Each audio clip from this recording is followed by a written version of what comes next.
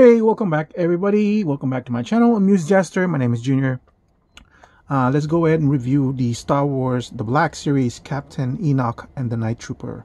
I haven't reviewed a lot of Star Wars figures. I just usually just, um, and also Marvel Legends, it's usually the ones that really capture my eye.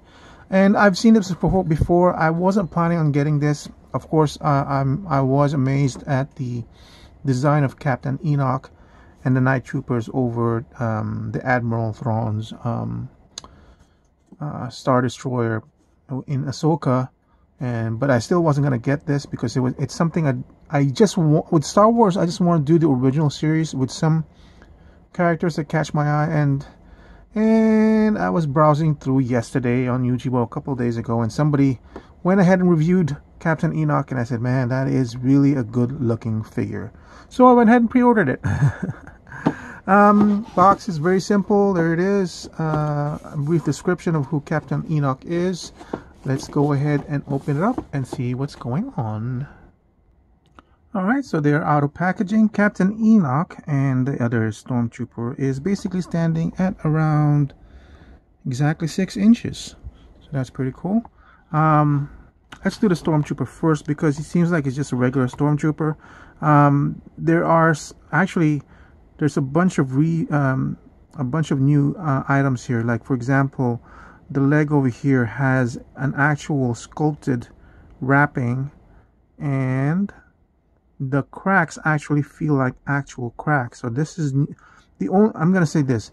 The only thing that they reused would be the the waist the two thighs this uh, leg this joint over here and that's basically it because everything else is pretty much brand new not like any other stormtrooper. That's kind of interesting. Anyway um, there's the head and these cards are actually um, sculpted in there so that's kind of cool. This particular head looks kind of wide for me for a stormtrooper. I really do love the gold accents on this face and then it has this really uh, little bit of uh, tampo under paint. Like I said these are actually sculpted um uh, I guess bandages and everything. Um and spoilers spoilers if you haven't seen Ahsoka these are supposed to be dead stormtroopers I suppose. And apparently what links them to the red sisters are these red bandages. Maybe they empower the bandages and then they wrapped it around here which basically um, gives them life. I don't know or the red witches. I don't even know what their name is. So um, six inches you know i'm into six inches. That's the scale that i'm going for. Um, i do have a few stormtroopers on my uh, collection. Obviously i have to have them because they are from the original series so that's what i want. That's basically the max of the elbow twist over here and the arms the hand articulation are up and down. You do have the joint here on the uh, lower ribs which is gives you a good range. No twist on the thighs I mean the waist. Um, the head I forgot to talk about it goes up pretty high. And then pretty good range for down as well. And then left to uh, side to side. So I mean, some people are, uh, this joint over here is very vital because some people are thinking because they are dead um, people that you can, it would be good to pose them in awkward positions as dead people tend to be. So, so that's good that they have that range on the uh, lower torso. And for the legs, this is rubbery, so that's good can kick up pretty high. It does go sideways at some point. Go uh, the side is kind of limited because of the skirt over here. There is a twist at this joint over here. Um, the legs aren't really double jointed but it's a good enough range. A little bit over 90 maybe like 91 92 um, for the ankle this is stiff for me. Probably needs to be um, heated up but goes up one ratchet goes down one ratchet does have an ankle swivel Uh, these figures are very, very sparse in accessories. This was $50. So you have the gun here. Just nothing but bare gray plastic. but it does the job, right? So what this two pack I bought this two pack for is basically Captain Enoch. I bought him at I bought them at full price, obviously. So uh, let me close in really quickly on the head so we can look at that really close. So there's the head of Captain Enoch. Really, really cool.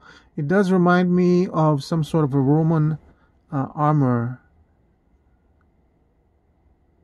or or something like that. But at least the face definitely does remind me of some sort of a Roman um, attributes in there. As you now that we've uh, zeroed in, you can really see the detail that's going on in this face. This is really just an amazing work.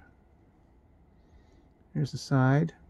I really do love the gold accents that they've put on this character. Um, for a character that I was not planning at all to get, it's the, the striking image of it just basically stuck to my mind.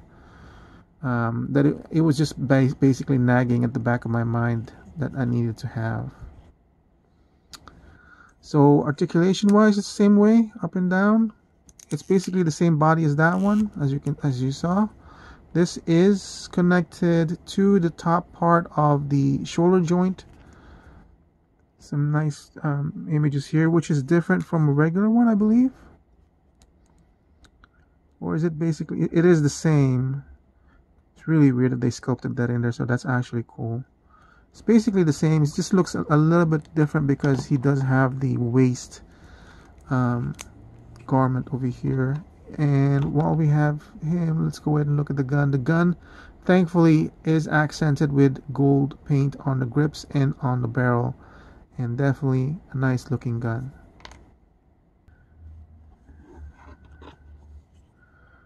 so let's go back out uh, as I mess around with the articulation. Obviously obviously for this one the articulation on the on the legs will be hampered by the skirt which is kind of a shame. Maybe I can cut out parts of the skirt so I can move it around like maybe here and here. I don't know. I don't know if, if articulation is that important for me to break the to break this this piece or not but basically the same articulation as the stormtrooper. It does have this uh, holster over here. I, I want to look really quickly at this holster. It does it really looks like almost like real leather with very very subtle texture but it's there. And the same thing with the belt. There are actually subtle textures on the belt straps I brought in a one of my stormtroopers and this is one of the newer stormtroopers. I, I you know if you remember they did um, a change in the uh, stormtrooper design. So it does look like it's no is it the same head? Man, that paint job really messes uh, me up. It just looks like there's something wrong with the head on this one, like it's warped or something. It could be warped because it, it is rubbery. This is a more solid plastic. This headpiece is rubbery. And underneath it, it's almost like there's a head sculpt in there, which I'm to pull out because there is a head sculpt in there. Look at that! Now I'm I'm assuming you're not supposed to do that, and this is probably the reason why uh, it was warped. Um, oh, this guy has it a neck and a head inside it too, but the head the is so stiff. There's no way of removing it. So that is kind of cool. But there's a clone underneath there. Now, what does that mean? Are these troopers actually clones? I don't know.